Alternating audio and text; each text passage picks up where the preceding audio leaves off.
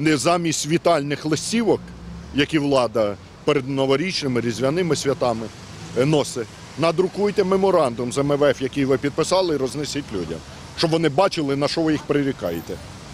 Щокварталу підвищення тарифів і уся інша несправедливість.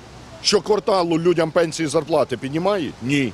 Тарифи піднімають, ціни піднімають, ліки піднімаються і все інше.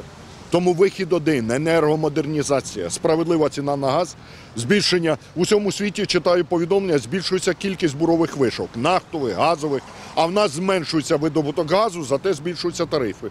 І збільшуються е, обсяги закупівлі імпортного газу, замість того, щоб створити умови для інвесторів, щоб більше видобувати свого газу. Мільярди платять на е, субсидії, замість того, щоб ці мільярди спрямувати на енергомодернізацію, щоб людина не виносила останнє з хати для того, щоб заплатити за комуналку.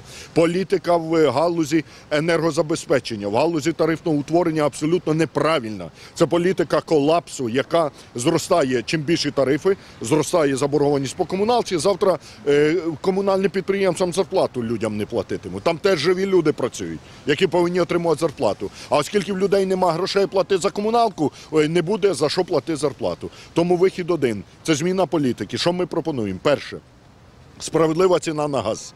Не імпортний паритет, а та ціна, яка відповідає українським реаліям. Тому що коли нам кажуть, що має бути ринкова ціна на газ, дайте людям ринкові зарплати і пенсії. А коли зарплати і пенсії копійчані, як у бомжів, а ціна на газ не ринкова, а грабіжницька, внаслідок цього зростання заборгованості і, як в 90-ті, колапс житлово-комунального господарства.